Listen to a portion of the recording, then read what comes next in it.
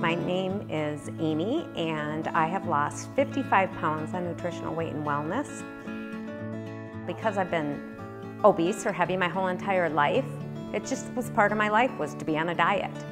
And to me, nutritional weight and wellness is not a diet. They give you tools, they teach you how to eat and good food to eat. So to me, it's not, that's me, it's not a diet program. It's not a Jenny Craig. Nutrisystem or anything like that. It is a, this is a lifestyle change and they will give you tools and they will teach you what foods to eat and the right food to eat. So to me, um, I, there's no comparison. This is the answer for anyone who has struggled with weight problems their whole life. It's the only answer. Oh, go shopping. Oh, for sure go shopping because I can shop at more than just one store. I mean, now I have a variety of places I can shop at. Um, besides that, of course, traveling. And I for sure would not do what I'm doing right now if I would not have lost the weight. So just getting out there more, letting my story be heard.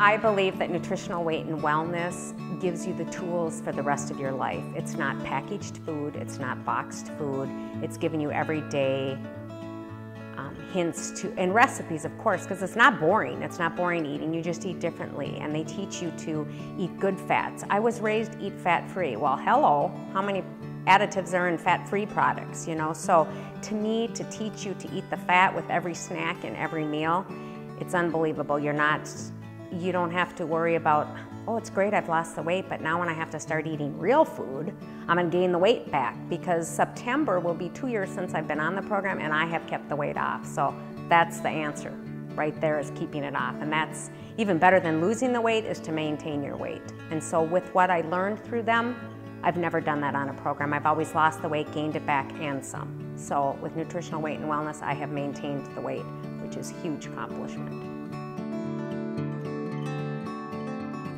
I would tell them you can't afford to not call nutritional weight and wellness. You have tried stuff before.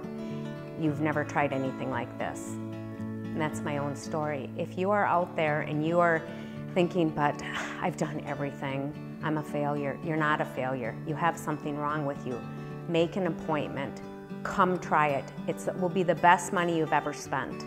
The money you spend to go see a counselor and to sit down and just tell them your story, because this is my story, and you can't afford not to.